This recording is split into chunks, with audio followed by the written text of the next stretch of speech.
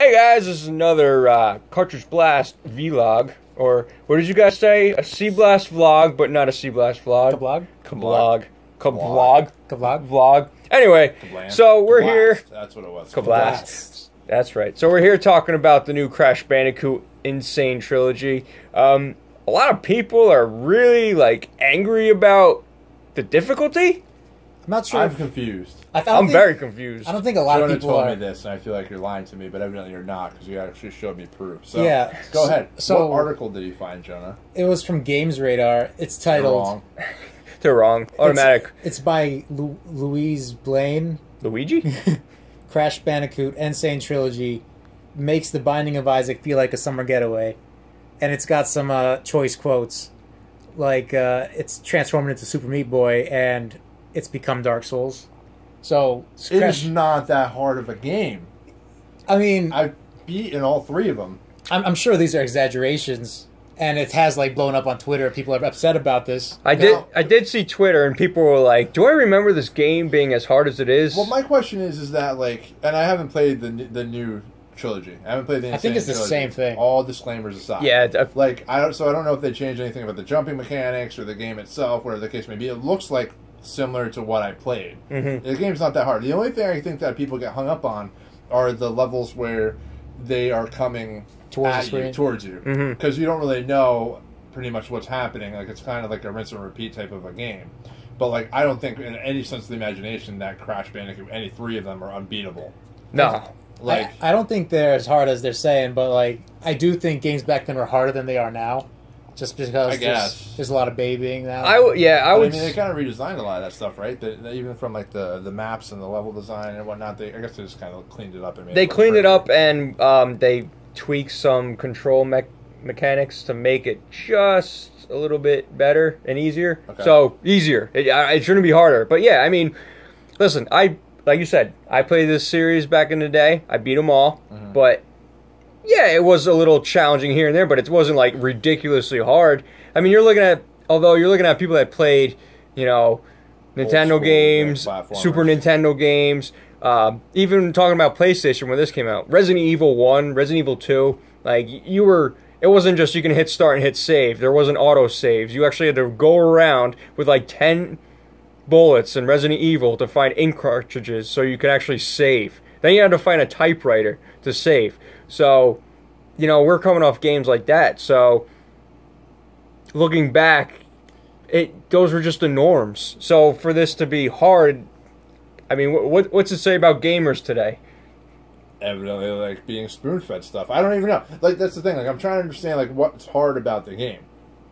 Like, because it's a fixed camera angle, you don't have to deal with any of the hard camera angles you used to have to deal with, like even on the N64, where you had to switch the camera angles in order to see certain things or maneuver certain things. You actually had to stop playing sometimes in order to switch the camera angle. Uh-huh. Like, it's a fixed camera angle, and even some of the Crash levels, they go from that um, like over the shoulder look or, or him coming at you, and then he switches into like the regular side scrolling type of design with with the levels. Yeah, So like, I don't know what the problem is.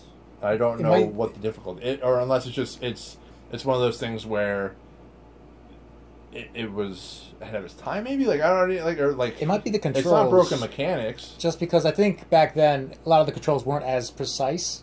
I so, guess. so it might be a little clunky. So Uh, it's like I gotta play it to be honest and Yeah. see kind of what they're talking. so maybe about. that tight little input lag, but there wouldn't be input lag. They would fix that if there was input May- lag. yeah, Maybe it was just I don't know. Maybe it was just not used to platformers. I don't know.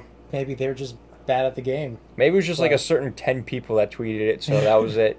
But it seemed like there was a couple of people having issues with it, and we just wanted to kind of bring that up and find out is it is it just us or I mean is I just that, don't remember it being hard. Like I don't remember it being I- that hard. I remember it being fun, but it, like for them to make sequels, like if the first game was that hard, which I think the first one was the hardest of them all, Probably it would have been the hardest. Like the first one was not.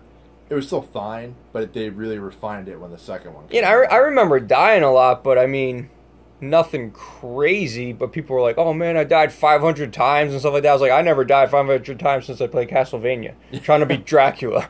So, um, but yeah, it's I don't know. maybe it's just the games that are out there today. Maybe it could just be the people playing it. Like, oh, I remember playing that as a kid, but they really haven't played something like that since they've been playing like the Call of Duties, where it's just like straightforward. You just go and shoot and all that stuff. I mean, what really is a comparable like game like that in this day and age? I mean, Crash is pretty unique because, like I said, the fi- the way the fixed camera angles were, the level designs were really unique. Well, evidently, Dark Souls is comparable. I don't have. I don't. Even, I don't even. they compare it to understand. Dark Like, I Souls. couldn't. I couldn't compare Crash to like Bloodborne.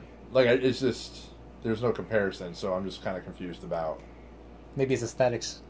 like they're- if they're trying to claim it as like the dead, the Dark Souls of uh, platformers. I just I don't know. I can't agree with that. Yeah, I know. I mean, it is getting rave reviews because it's pretty much the exact same thing we remember, but HD and just tweaked controls in, in certain areas. So, I don't know.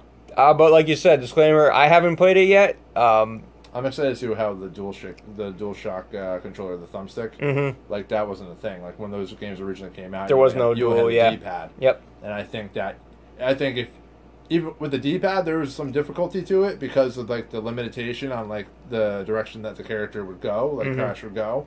But with, if you're adding in the joystick or the thumbstick, then I feel like it just would make it that much easier. Yeah, So it, it wouldn't be taking know. away or it wouldn't be adding the difficulty. It should be helping. Yeah. But So who knows? Maybe the Rumble is throwing them off. Turn it off. Turn it off. You never know. Yeah, the Rumble on PS1 though, right? it came out as a DualShock one, but I don't know if that was I don't think they had it for the original. Not for the Okay. first one. Not for the first Crash. I think they it came out for the second one by then. I just remember they were coming out with like for instance Re- Resident Evil again. They came out with uh, the original Resident Evil, then they would come out with the DualShock version, so you would actually get some rumble in there. But uh, Jonah, I mean, wh- what do you think? Do you play the original Crash games? I played a little bit of the original on a friend's PS1 because it didn't have PS1. He had Yoshi's Cookie. I did have Yoshi's Cookie, uh, and it was fun, but I never really went into it, so I'm not really nostalgic for it. Dove in. Yeah, So I, I mean, I love the series. I, uh, but I, I want to get it. But I just, we just thought it was an interesting topic for a vlog to find out what's a going on. comparison. Like, It is. It's a really strange comparison. yeah, and is is it? And I played all of them. I beat all of them. Does it Like- say something about the games that are releasing nowadays? Is it just too easy? And is there? Do we need more? I think at the end of the day, I mean, that's, that's a whole that's a whole another topic. I know because it's but like games are going to be easier nowadays because they need to sell them to people that are actually going to play them and beat them. Because if they make them too hard, they're not going to play that game ever again. And, and word of mouth is going to get out that this game is too hard. But then again, you look at Dark Souls, Bloodborne, I look at that. Demon's Souls. They do well. Yeah, It's the challenge. I guess, but I guess it's just not for everybody. So Well, I never bought Dark Souls for that reason because I didn't want to throw. I didn't want to break anything in my house. But so, but what do you guys think? Uh, let us know down in the comments. Have you played it? Is it that difficult? Is it just an over exaggeration, or do we just forget how hard it actually was? Let us know down in the comments, guys. Thanks for watching. I'm John for Cartridge Blast Gamers. I'm Jonah. I'm Carmine. Stay awesome, guys. Peace.